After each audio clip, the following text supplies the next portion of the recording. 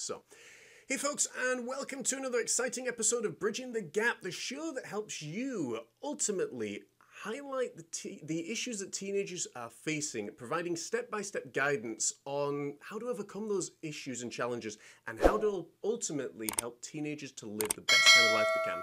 Hey folks, welcome. I'm John Morris, an author, speaker, teacher, and artist, and I'm really excited to be here with you guys today. I specialize in working with teenagers and families, and I make up one half the team. My brand new co host is all the way from the United States, and I'm really excited to welcome Alicia McDonald. Alicia, welcome to the show. How are you doing today? I'm good. How are you? I'm excited to be here. I'm so excited to have you here. I'm good. It's a beautiful sunny day. How's the weather by you guys? It's a little cloudy, but it's not snowing, so that's that's a plus. A plus. Although the snow, I have to say from photos that I've seen, snow in New York absolutely looks stunning. It really does. It's, um, it's and, gorgeous. Yeah, it, it's tremendous. So hopefully we'll make it out there at some point because I think we're going to do fantastic things there.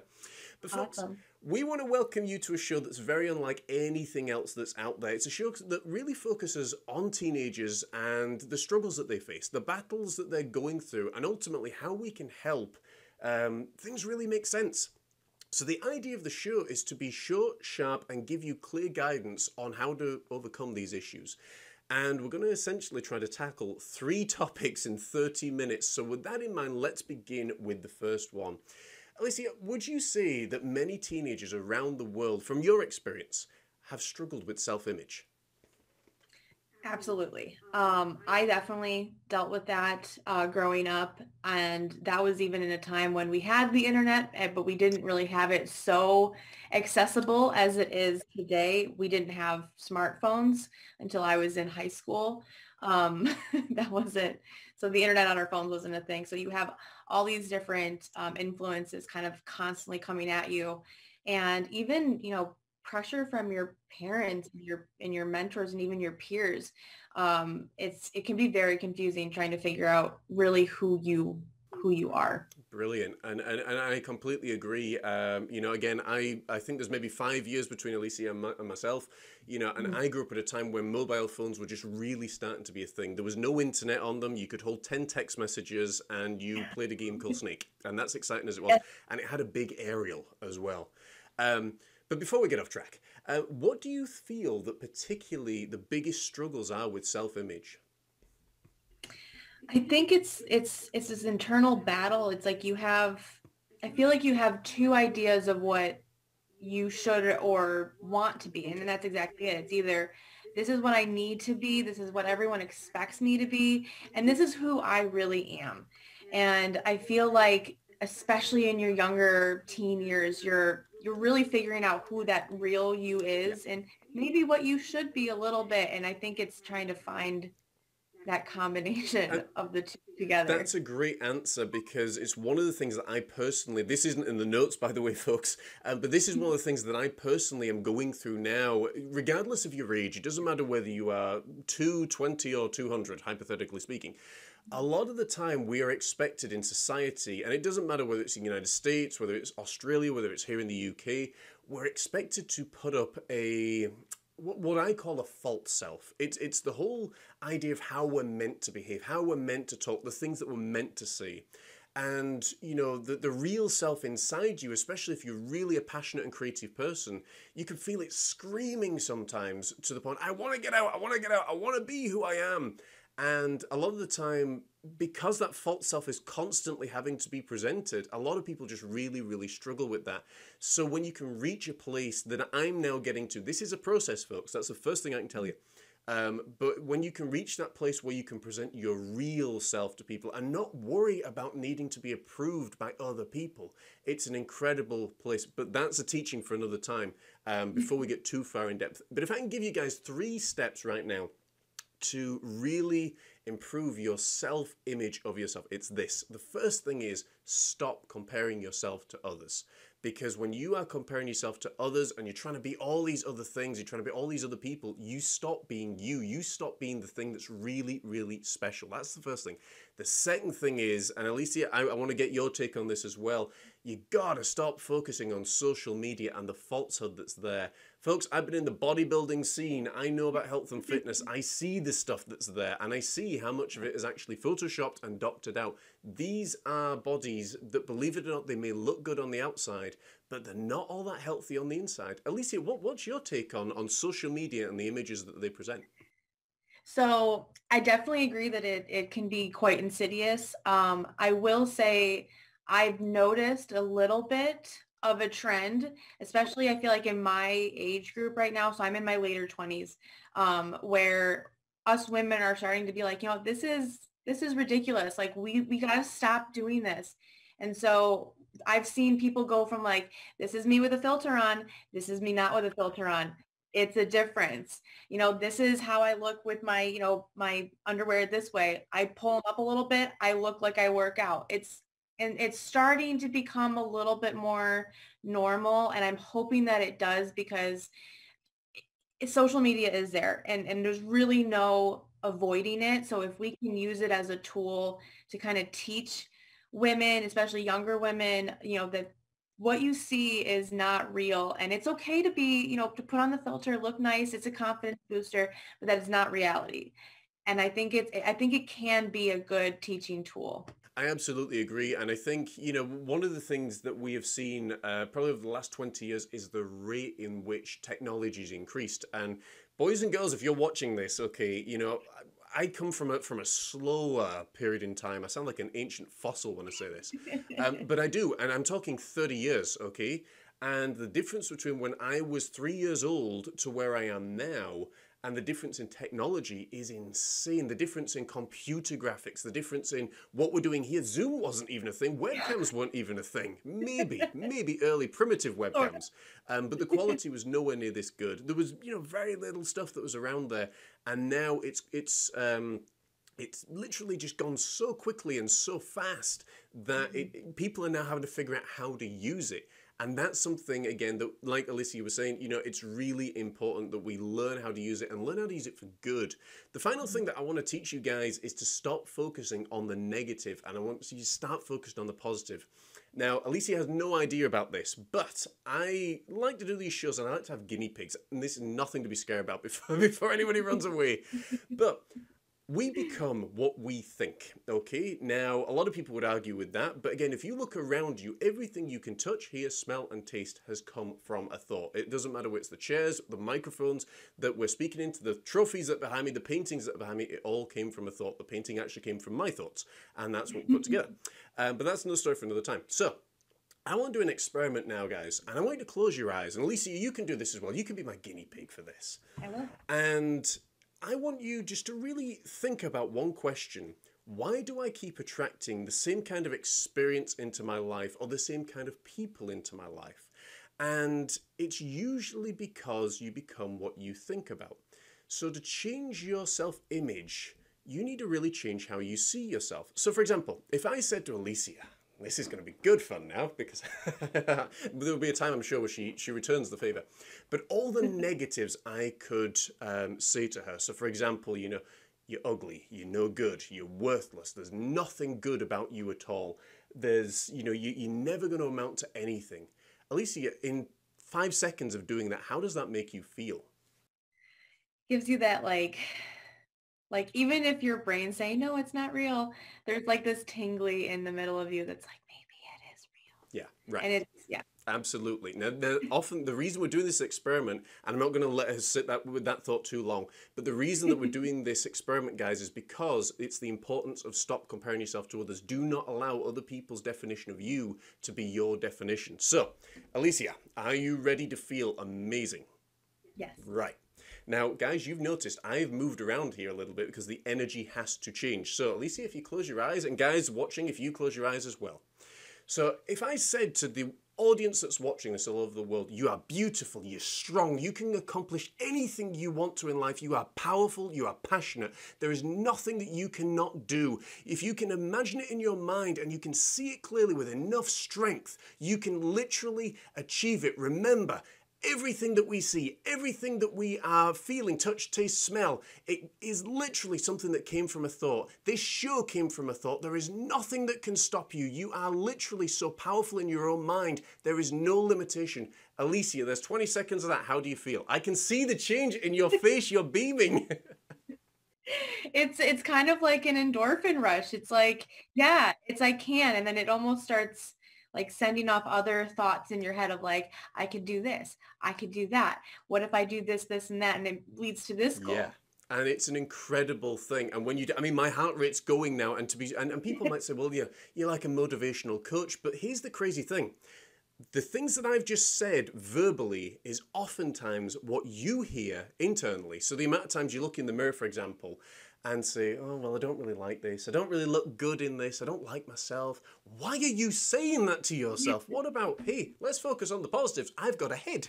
It's on my shoulders. Yeah. You know, simple things like that. You can actually, and again, it comes back to the societal um, expectations, I think, where we're not meant to be boastful, we're not meant to be proud, but there is nothing wrong in saying, I love myself. I really enjoy who I am. And when you can do that, you will start to see your whole body change. Remember, when you shift your focus, you can actually shift your life. So that's the first first topic, hopefully, that we covered. And it makes you guys feel really empowered as well. And we want you to comment, get in touch with us if you really enjoy this.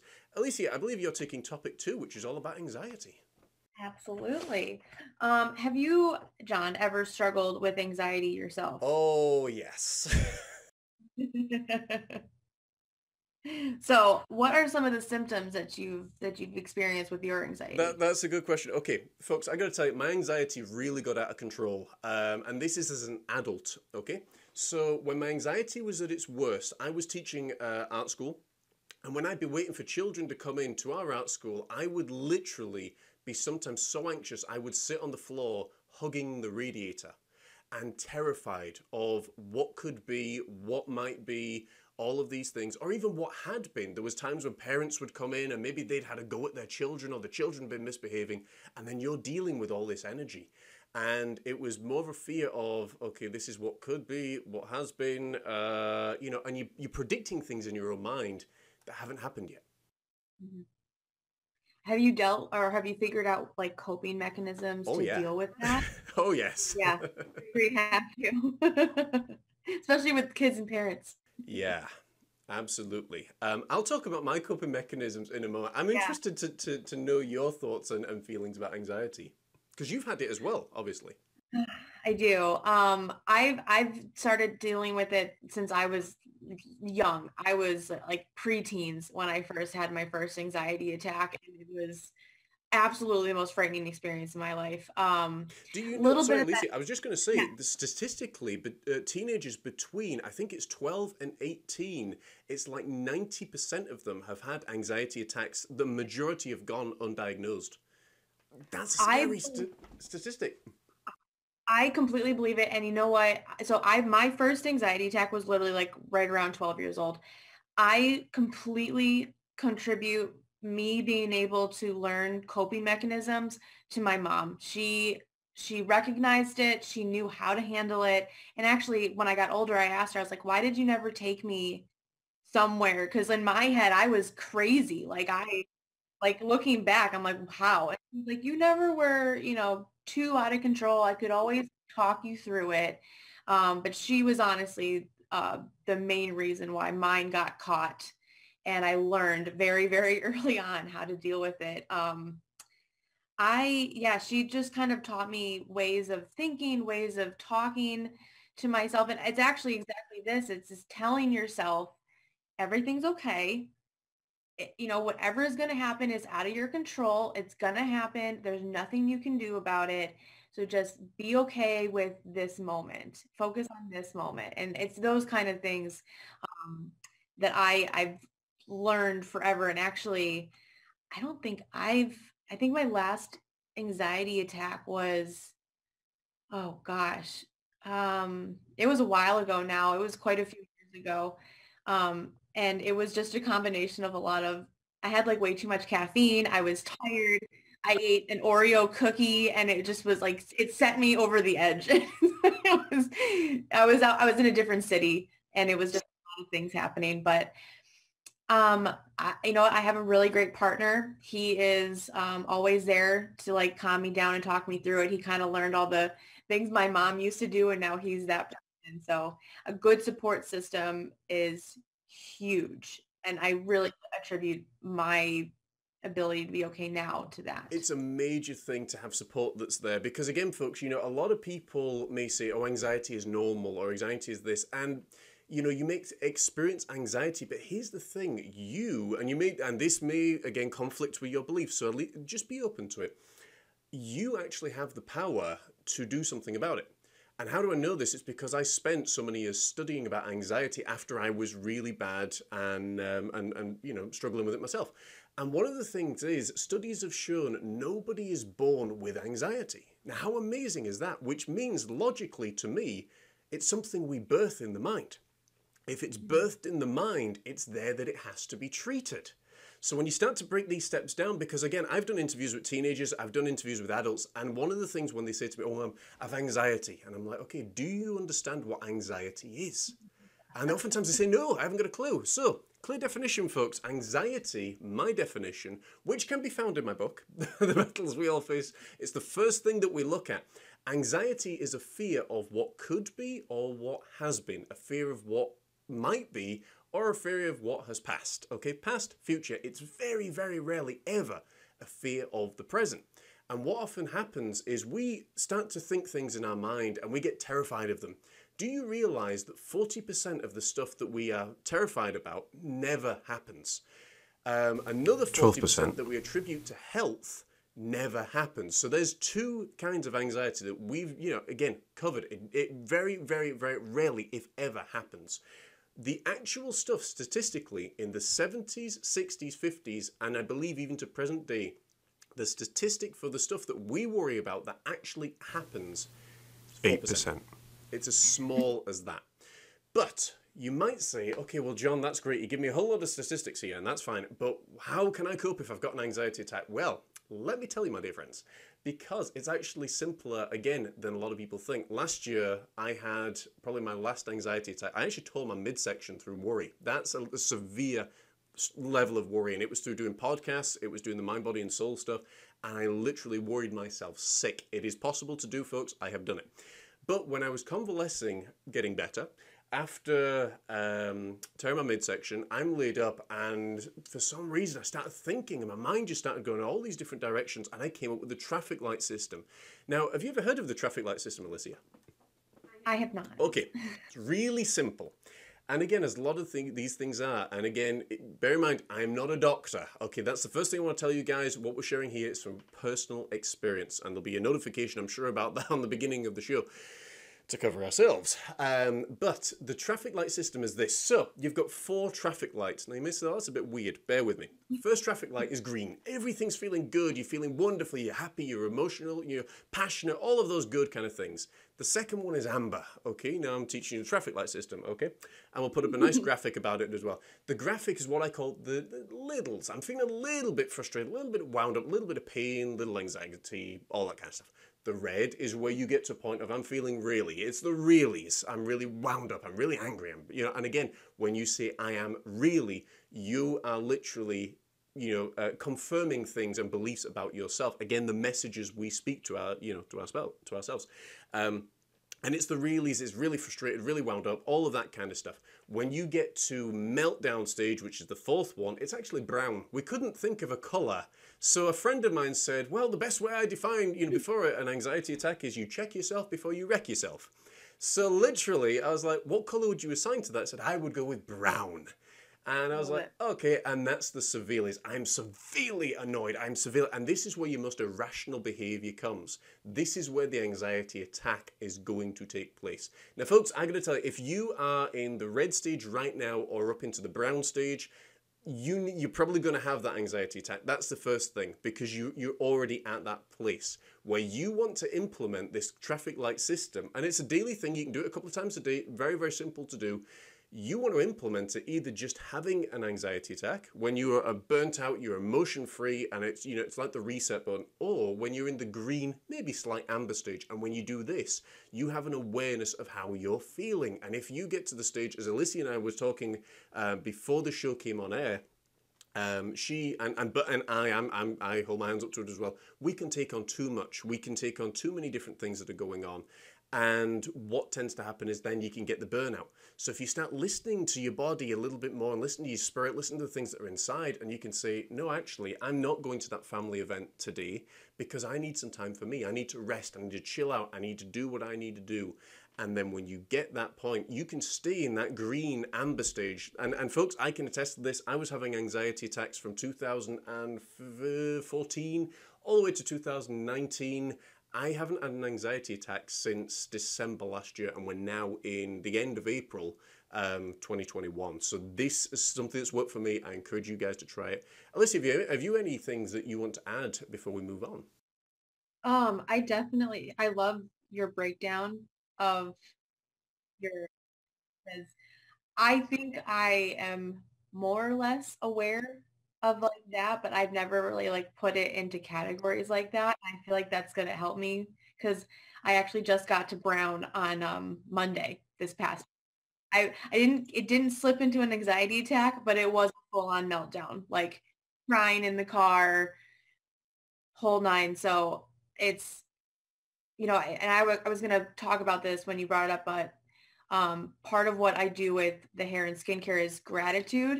And this my whole team, we every morning we message the whole team what's one thing that we're grateful for. If, if it's if it's your dog next to you, if it's if it's the sunshine coming in your window, anything that like that little one thing that you can focus on.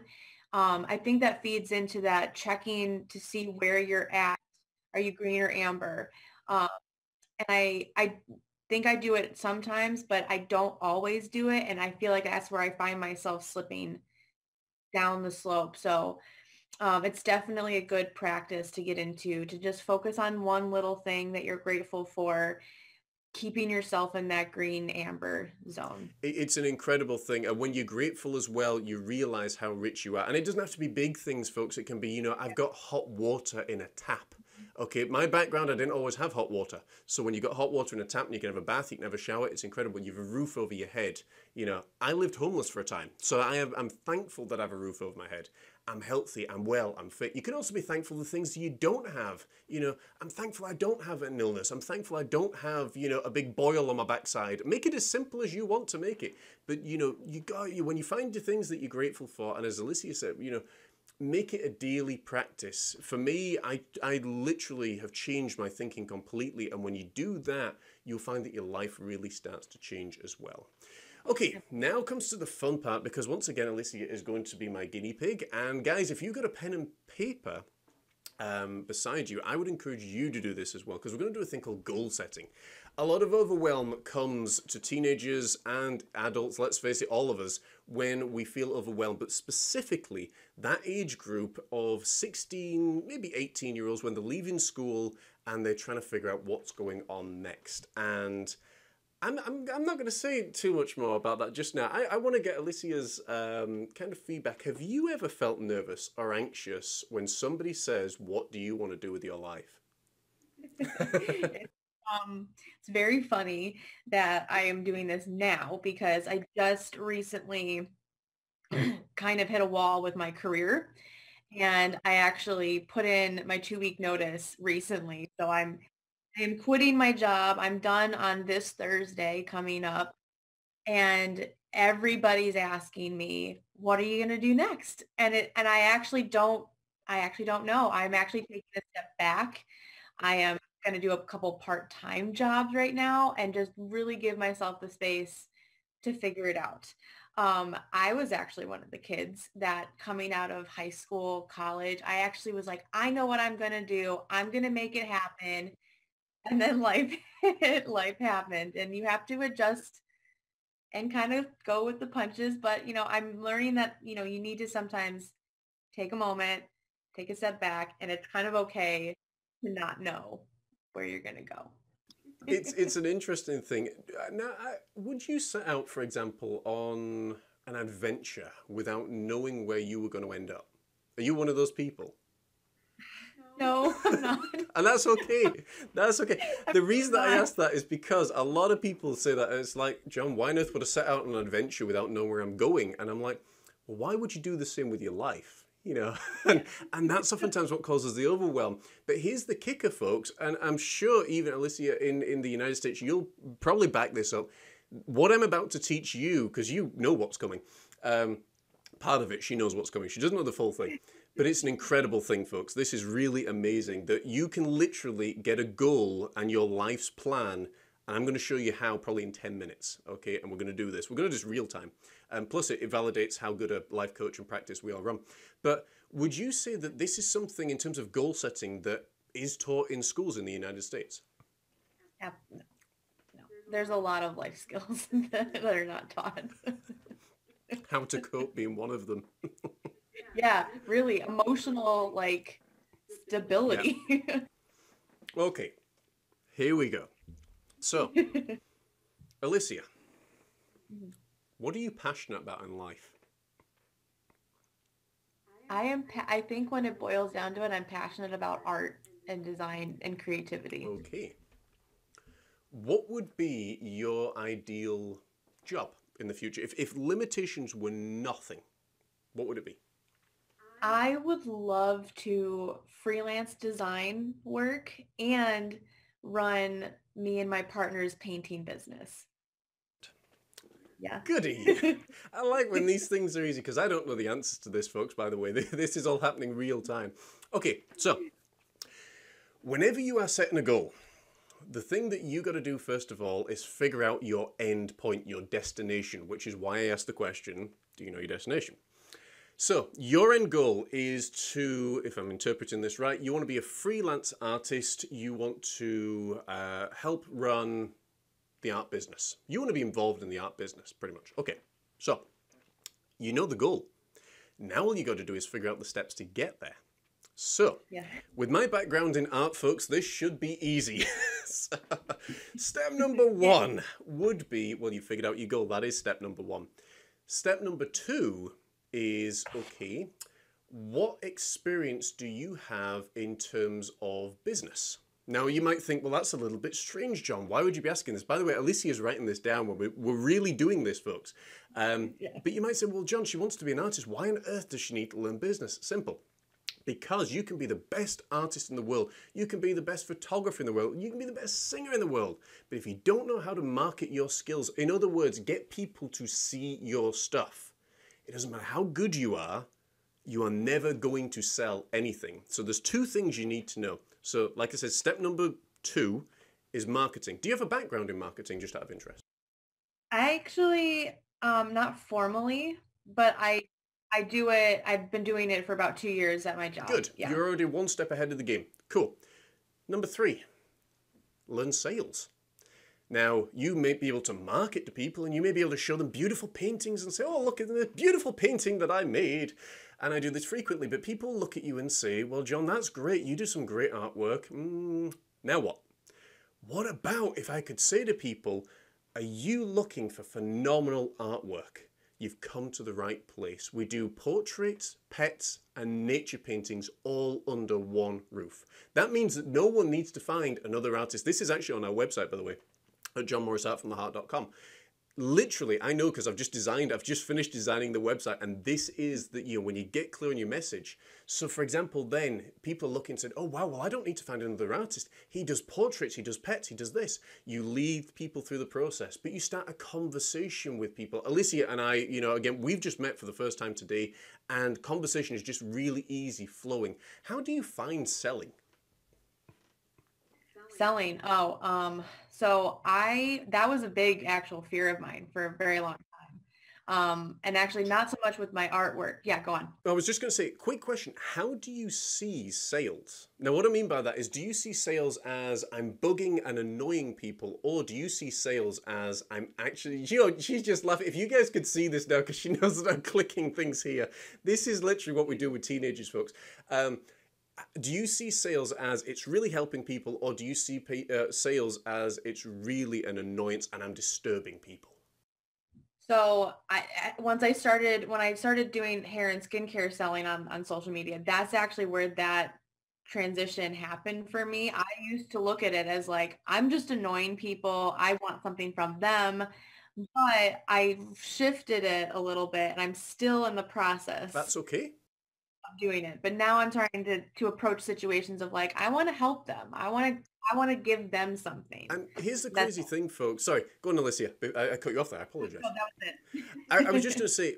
So, for example, you can do this with anything in on the face of the planet, folks. If you really figure out how this is helping someone and how you know you're you're not you, you've got to find first of all if, if you're going into sales and again we're speaking here about paintings okay this is very very specific um, you got to figure out a way uh, in your own mind of saying well i'm not actually annoying people i'm actually providing a service now you might say well john you know how on earth do i do that because i talk to people and i'm like you know, uh, I just find that I'm talking at them about my paintings. That's because you're trying to sell. What you want to try and do is build a relationship. So if I say for you, for example, Alicia, that painting I've got behind me, are you going to buy it? What's your answer going to be? Uh, exactly. I don't know. Right, okay. but if I said to you, for example, now what you imagine, you know, you're in, you know, a, a big home and it's got maybe nice big windows. There's enough light that comes in, but the walls are beige, like an old granny colour beige. Now, if I said to you, Alicia, one of my paintings, large paintings, can not only brighten up your home, change your mindset from negative to positive, that every day you love it, you see powerful and passionate colors. But it can also make you jealous of other people because when they find out what you've got, they're going to want it as well. Which are you more inclined to want to work with there? Oh, that one. There you go. now, that, that's the whole thing behind it, folks. So, Step number three, like I say, is learn sales. Learn that you are passionate about a product. And again, I can look around, I'm looking at this window right here. You know, we create windows so, you know, you don't feel the cold. Or you don't, or in Scotland, for example, you don't get blasted by a 90 mile an hour gust. Our windows will keep you safe, secure, and warm. Bang! You've learned sales. Okay, so when you learn sales and marketing, there's two major things. And then the process is figuring out, okay, what you know step forward would be what does it look like for me to be working with my partner for me to be selling my own artwork? Where am i going to sell it? So then you do your research. So literally if i remember the steps step one is figure out the goal. Step two learn marketing. Step three learn sales. Step four do your research. Step five do it. That's the, that's the final thing for us because a lot of people have these great ideas in their mind and they don't do it so that's one thing for art. I'm going to do one really, really quick because I had this with a client of mine, and this he wanted to be a history teacher. Okay, now, his mum got in touch, he was uh, 17 years old, and his mum got in touch with me and said, John, he's no motivation, he's nothing about him, you know, what do I do? I said, give me 25 minutes. And I said, right, what are you passionate about? And he said, I'm passionate about helping people, I'm passionate about teaching, and I'm passionate, there was something else that he said, I'm, passionate, oh, I'm passionate about history. I was like, right, okay. Have you ever thought about being a history teacher? And he said, well, oddly enough, yeah. I was like, right, there's your goal. It's something you're passionate about, something you love, something that's going to keep you when times get tough. And I said, then walk through the steps. I said, what's your education? And he said, well, I've, I've got a really good education. And he, he was mostly A's and B's. I was like, brilliant. Okay, so now we've got something. Okay, and then where are you going to go next? Are you going to study at university? Yes. Which university are you going to study at? What course are you going to study at? And then when he's figured all that out, and then when you get to the end part, he's graduated from university, he's applying for jobs, bing, bang, boom, and then he's teaching um, history. Now, he's actually going into jobs um, and, and to look for jobs right now because he's taking a gap year. But we walked him through as well how to secure a job, and that's something I want to cover with you guys next time. Alicia, how was that? Um, was that information, as someone that's heard it for the first time, something that really helped you? Absolutely, because like I'm a I'm a list person. I need I'm a visual person, obviously, so I need to see things broken down, and sometimes it is as easy as just writing it down that finally it's like, okay, yeah, check, check, check, check, got it. Because that's the crazy thing. Once you visualize it in your mind and you're committed to doing it, there is literally nothing that can stop you from doing it. and you just keep it in your mind this is what I am, this is who I am, you know. And yes, I may be known as a psychologist in training, but I'm going to be known very soon as Dr. John Morris, which is fantastic. And then it opens up all these other doors. Why? Because I visualized it in my mind and then I went after it. Alicia, is there anything that you want to uh, share with us before we wrap up today's show? Um, I think the the one thing I want to just say about your your five steps is that number five, doing it. Um, I I can be an over planner. I can be somebody who is like, I got to plan everything out to the T before I do anything. And I have learned that it's sometimes you just have to do it. Like sometimes if you don't even know exactly what you're doing, you just have to start and you'll figure it out. Because if you don't ever start, you're never going to get there. And the secret to it, folks, is plan enough for today. Don't yeah. worry about tomorrow, next week, next month, or whatever, but plan enough for today. And I normally do between three and five things. The first two are normally really simple things, and then the next three are the ones that's going to take you from where you are to where you want to be. And it doesn't matter your age, it's something that you can do pretty much any time. Um, so, is there anything that you want to say before we wrap up for today's show? Anything we've got?